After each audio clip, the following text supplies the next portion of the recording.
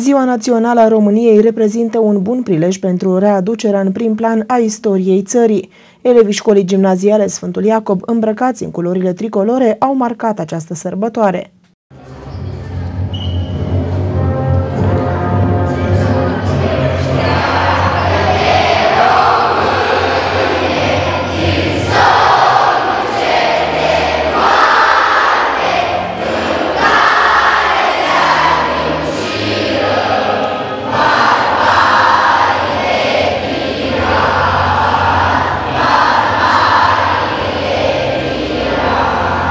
Momentul pregătit de elevi a cuprins o scurtă lecție de istorie. Aceștia au fost așezați sub forma hărții țării, fiecare provincie istorică purtând o anumită culoare, roșu, galben sau albastru.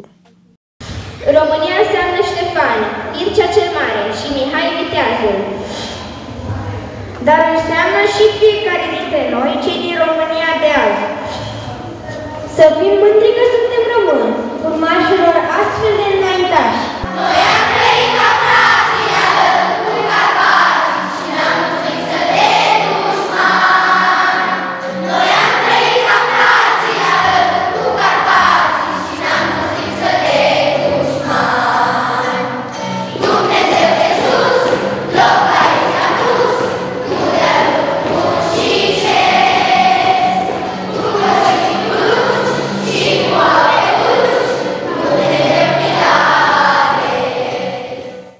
Activitatea s-a încheiat cu o horă în care s-au prins toți copiii.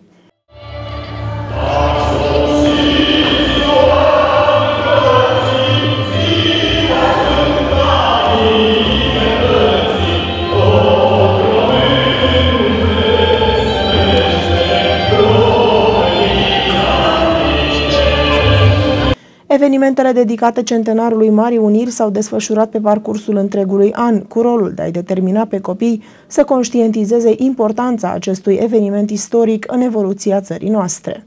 Suntem un popor minunat, avem valori extraordinare.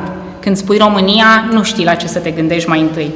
La frumusețea reliefului, la istoria încercată, la tradițiile nenumărate, la oameni de valoare pe, pe care poporul acesta i-a dat lumii.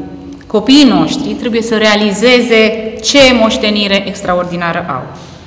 Să o prețuiască, să o respecte și să încerce fiecare dintre ei să dea tot ce are mai bun, să dovedim lumii că românii sunt un popor frumos și adevărat.